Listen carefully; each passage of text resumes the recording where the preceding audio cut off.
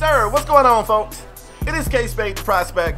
I'm back today with a brand new Madden 20 online head-to-head gameplay. If you are new to my channel or this series, I am trying to go all the way through the entire NFL and get a win with every single team. And if I keep winning, I, I rock with that team a little bit before I move on to the next one. I have been doing pretty good with the New Orleans Saints. I've been kicking some ass, fam. I'm going to let y'all know. In today's game, I got the New England Patriots, which I see a lot. I'm so tired of seeing the Patriots and the Cowboys, and it's only going to get worse once the Patriots actually get Antonio Brown in this game. It's going to be terrible, but in the meantime, I've been kicking their ass, fam, especially with the Saints. Now, right here, Jared Cook turned on the burners, damn they got past everybody, well, he really got past everybody, and got hulked around the three-yard line. On second and goal, I decided to just let Drew Brees keep it. It's an easy easy score, and we get on the board 7-0. I like the way we started off. This end right here is going to be pretty easy. I've been seeing the comments, you guys like, Spade, why are you using Cam Jordan to be a spy? He's your best pass rusher. He also can get to the QB, man. His pursuit is crazy, but I don't have to do that in this game. Uh, Tom Brady's not a threat to run. I can let him just pin his ears back and do exactly what you saw him do right there. Fourth and long, they decide to punt. I saw Vision in the comment section say, Spade, why don't you show us, you know, how you get busy on the special teams, on the kick returns? I said, cool, you know, because I get busy there too. I'll show you that.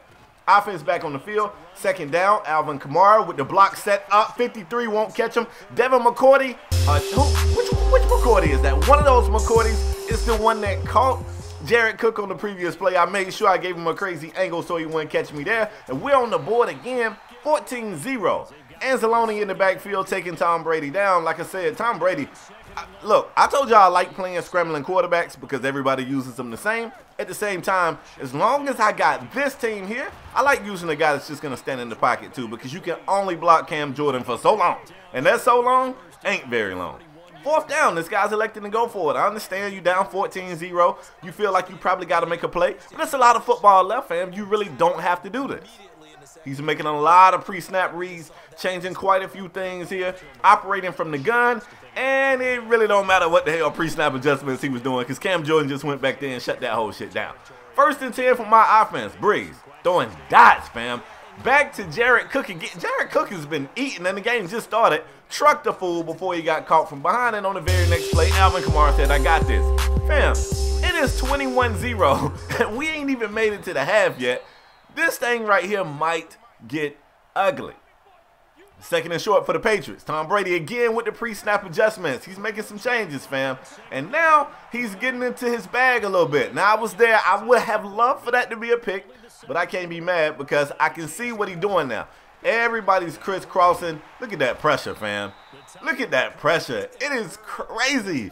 This team can get to the quarterback unless, look at this, man. This is crazy. Unless you got some really quick reads Man, this is going to be bad for you. Cam Jordan glowed up coming off that edge. He's able to get that pass off, and this is kind of how he's going to have to play. Look at Cam. Like, I can't even do my commentary because I'm just watching Cam Jordan. It is crazy, but he's playing smart. And he goes to empty backfield right here, which I feel like is pretty damn dangerous. But I guess he knew what he was doing. He was backpedaling, or so I thought he knew what he was doing. He was backpedaling away from the Cam Jordan pressure, but he threw it to me because I be lurking. That's what I do. My offense back on the field. Who was that? Ted, again, I need you to make that catch, fam. You running the seams, make the catch. Third and 10 for me. He sends a little bit of pressure. Why not go back to Jared Cook? I couldn't control myself. I ran out of bounds after the spin, but Jared Cook has been automatic. I went for it on fourth down because I smelled blood. I'm going to be honest with you. I felt like if I scored again, he would have been out of there, and I was trying to get him out of there. I really was. I had no reason to go for it there, but I just felt too powerful. Now, I'm back on defense, and like I said, he's made some adjustments right there. We just gave him a lot of time, but He's made some adjustments to the way he's been calling plays on offense. He's really dialing up a lot of drags. That one wasn't it, though. He had the short guy. But he's been dialing up a lot of drags and crossing routes and, and a lot of ends. And I feel like that's playing to the strengths of this team, at least until they get AB. Now we go into the half 21-0. Third quarter comes out. I got the ball first. So his offense is back on the field. And fam, you making some dangerous reads right now. I just gave you compliments. I just gave you compliments.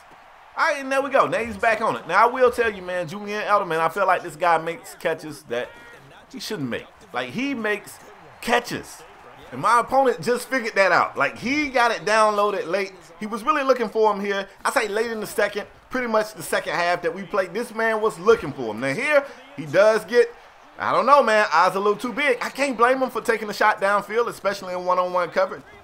But you had something that was working. Third and 10, now I got to put them boys on you again. Here comes the pressure. This time it's Demario Davis getting to him. Fourth and 20, he's going for it. And I feel like he's at that tipping point, fam. I, that's that's where I believe he's at. He, uh, and then again, I'll be damned. He goes across the middle. He hits Julian Edelman. He picks up the first. He moves the chains. And now, I'm, I'm, in my mind, I'm like, should I just look for Julian Edelman every play? Like, I'm just going to look for Edelman. And oh, how did he survive that one? You throwing to, to me, fam. I'm out here. You got to give me my props. So I'm doing this thing where I'm showing blitz. I'm dropping back. I'm looking for Edelman. And right there, man, Brady was just climbing the pocket, climbing the pocket and he just climbed into a defensive lineman. That really, that's the sack he could have avoided. It really was no pressure on him whatsoever there. Third and long, your pre-snap adjustments again being, you know, being done. The pressure's on, and hey, I ain't, I ain't mad at it. Now I got that pick, but I'm not mad at it. I see what he was trying to do, man. Like if he didn't see something that he loved in the inside, he took a shot downfield. And like I said, man, his tipping point was reaching. He didn't even wait till a big play happened. He just decided he was up out of here and that's all I got for today's video, man. I'm playing one more game, win, lose, or draw. That is all I got before I go to the Tampa Bay Bucks. Hope you guys enjoyed it. If so, leave a like. If you new, hit subscribe. And I'm out till next time, folks. Yeah.